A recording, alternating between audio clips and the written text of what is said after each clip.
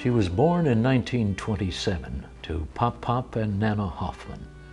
Her name meant comfort, but little else is known of her early life.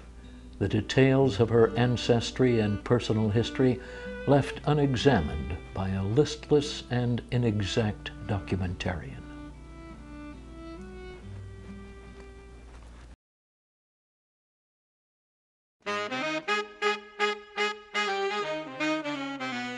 His first Jewess I ever met. She had red hair, looked like a bucket of copper finish. Uh, was, uh, there was this dance, you know, had these dance USO club dances for for guys when they're getting ready to ship out. And, you know, I'd like to go to them because there's always good-looking women. There was just one special. Damn, she was a looker. I remember we danced together.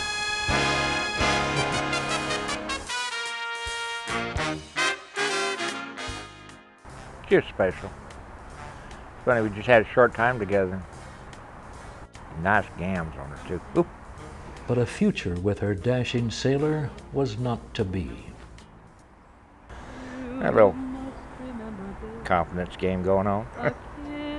oh, that's just a little game me and my buddy played. Well, he had this outfit sailor outfit and I borrowed it.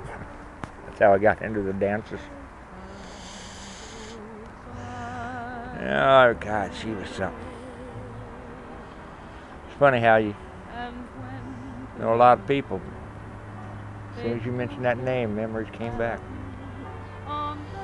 Especially that hair. And that face and those eyes. Hmm. Everything else.